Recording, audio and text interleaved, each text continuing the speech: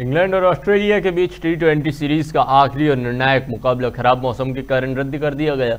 रविवार को मैनचेस्टर में बारिश होती रही, ऐसे में मुकाबले का टॉस भी नहीं हो सका और मैच बिना एक भी बॉल डाले रद्द हो गया।